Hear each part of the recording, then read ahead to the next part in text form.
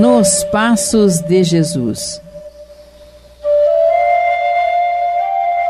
A mensagem que levamos ao seu coração hoje está registrada na carta de Paulo a Filemon, capítulo 1, versículo 14, e tem o seguinte texto: Mas nada quis fazer sem o teu parecer, para que o teu benefício não fosse por obrigação e sim de livre vontade. Para nossa reflexão, essa lição, pelo Espírito Emanuel, psicografada por Chico Xavier no livro Palavras de Vida Eterna, trouxe esta mensagem nos domínios da ação. Orgulha-se o homem de teres e haveres e costuma declarar, às vezes, com excelentes razões, que os ajuntou à custa de esforço enorme.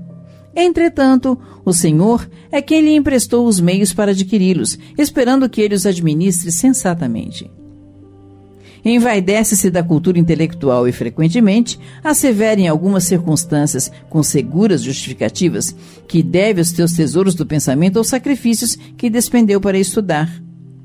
Todavia, o Senhor é quem lhe confiou os valores da inteligência, para que ele os abrilhante na construção da felicidade comum a todos ensoberbece-se do poder de que dispõe, afirmando em determinados casos, não sem motivo, que efetuou semelhante aquisição a preço de trabalho e sofrimento.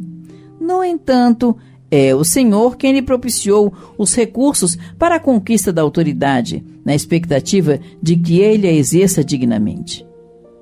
Ufana-se com respeito à saúde que usufrui e proclama, em certas ocasiões, com base respeitável, que mantém a euforia orgânica a expensas de rigorosa disciplina pessoal.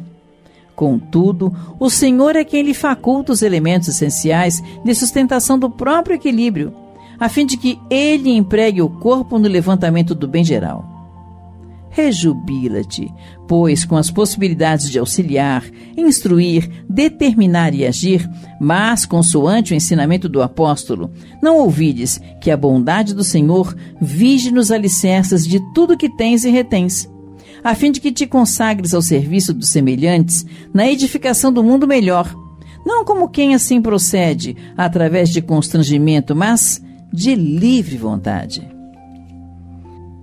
Se você gostou desta mensagem e ela de alguma forma tocou o seu coração, você poderá ouvi-la novamente visitando o site radioriodejaneiro.am.br e nossas redes sociais. Lá você vai encontrar outros áudios e vídeos que vão ajudar no seu crescimento espiritual. Convidamos você a participar da missão de divulgação da doutrina espírita. Felícia ao Clube da Fraternidade, Rádio Rio de Janeiro, 1400 AM, construindo um mundo melhor.